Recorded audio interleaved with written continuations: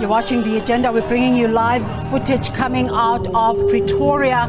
Our colleague Canny Maphanga is covering uh, that picket by the South African Communist Party, uh, which is uh, making efforts to plead with the Constitutional Court to rescind its decision uh, to uh, give parole to uh, Polish immigrant uh, Janusz Walus, who uh, was a naturalized South African, uh, but that status was also taken away in 2017.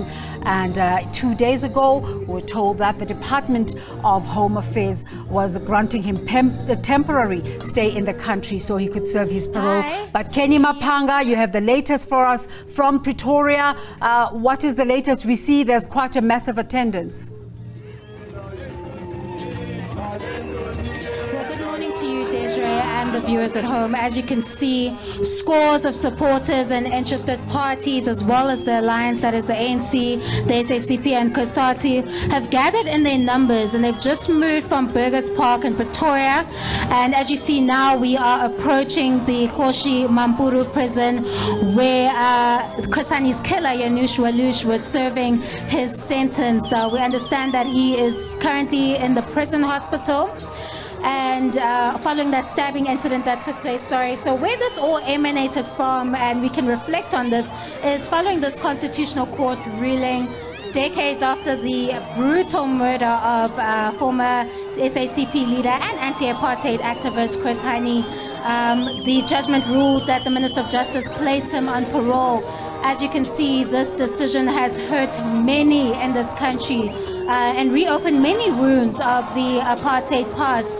So what we're seeing here is more of a political statement and a political message to say that someone such as Chris Hani, according to these supporters, should not enjoy life outside of prison. So I'm sure you can see plenty of uh, visuals there from alliance partners. We are seeing leaders such as the ANC Gauteng Chair, Panyaza Lesufi, the ANC's Mzwandile Masina, I did see uh, Mokonyane walking through as well, as well as former, you know, SACP leaders, as well as Solly Mapaila, to name a few that have joined in this protest.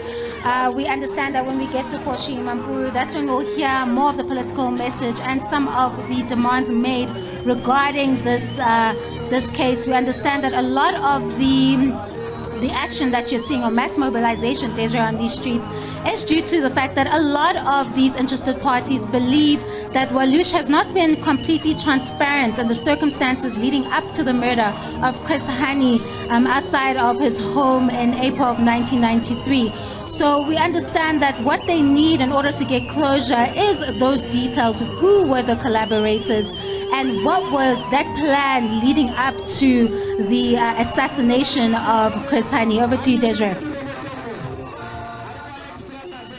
Um, clearly uh, a big response uh, to this call by the SACP, and you can also see uh, the African National Congress colors uh, in uh, the group that is picketing this morning. Canny Maphanga bringing us the story, and we'll continue to follow those events.